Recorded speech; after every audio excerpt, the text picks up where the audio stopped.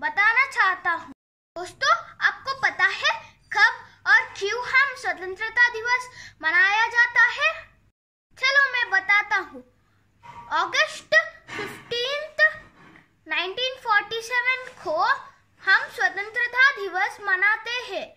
उस दिन हमें अंग्रेजियों से हमें स्वतंत्रता मिली। इसके लिए सभी फिफ्टींथ अगस्त को हमें स्वतंत्रता दिवस मनाया जाता है।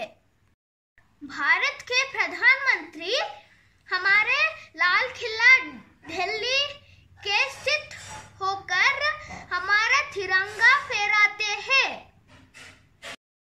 आपको पता है कौन स्वतंत्रता सैनिक है? मैं बताता हूँ। देखो। दोस्तों, आप ये सभी देख सकते हो ना? मैं एक एक करके सभी बताता हूँ। ये गांधी जी है। हम इसको बापू भी कहते हैं। ये राजेंद्र प्रसाद है।